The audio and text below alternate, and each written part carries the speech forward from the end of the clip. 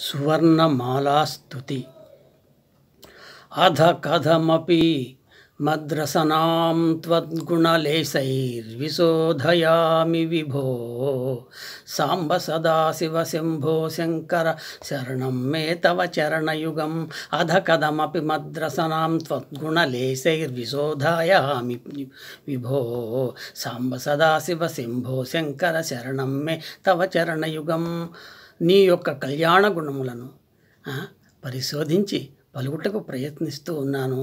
సదాశివా సాంబా శంభో శంకరా నీ చరణ యుగ్మమే నాకు శరణము తండ్రి మననములో మహిమ వ్యక్తమవుతుంది. పరమాత్మని కళ్యాణ గుణములను భక్తుడు సదా మనసులో స్మరిస్తూ ఉండాలి. మా మనుస్మరత చిత్తం మయ్యేవ ప్రవిలియతే. నన్ను స్మరించే చిత్తము నాయందే ఉంటుంది అని భగవంతుడు భాగవతంలో తెలిపాడు.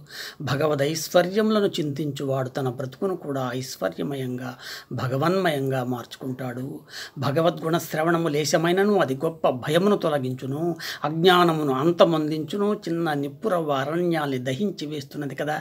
లభ్యతే తత్కృపయైవ సద్భావనలు సజ్జన సాంగత్యము భగవత్కృపతోనే లభిస్తుంది అని నారద మహర్షి. శంభో సదాశివ నీ చరణయుగ్మమే నాకు శరణము శరణము అని శంకరులు ప్రార్థించటలోని అంతర్భావము భగవత్కృపను వాంఛించుటయే. పద్యం ఒకసారి చూద్దాం. అధ కథమపి మద్రసనాం త్వద్గుణలేశై విశోధయామి విభో సాంబ సదా శివ శంభో శంకర శరణం మే తవ చరణయుగం సాంబ సదా శివ శంభో శంకర శరణం మే తవ చరణయుగం శరణం మే తవ చరణయుగం శరణం మే తవ చరణయుగం అధ కథమపి మద్రసనాం